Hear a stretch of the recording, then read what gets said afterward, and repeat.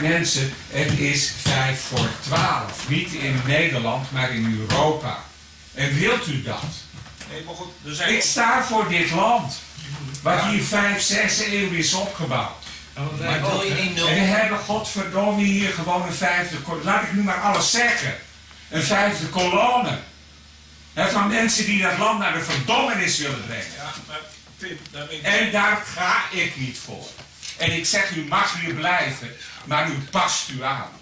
Ik moet daar horen, Allah is groot. Ik ben een vies varken. U bent de christenhond. Dat zeggen zij. En u vindt het goed. En ik ben heel beheerst tot nu toe geweest. Ik heb dat nooit herhaald. Maar u laat over zich lopen. En ik doe het niet meer.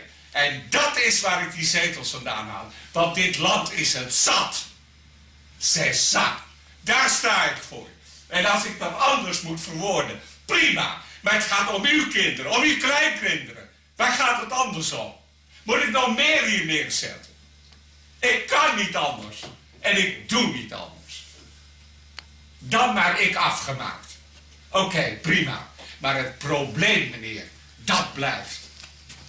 Dat blijft. Mensen hebben er meer dan genoeg van. Godverdomme in mijn stad.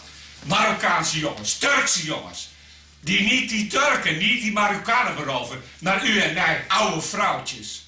En de politie, wat doen ze? Godverdomme niks. Die zeggen, als je dat zegt, discrimineert u. En dat verwoord ik van het Nederlandse volk. En ik sta ervoor. Ik sta ervoor. Mag het niet? Oké. Ik respecteer je. Zes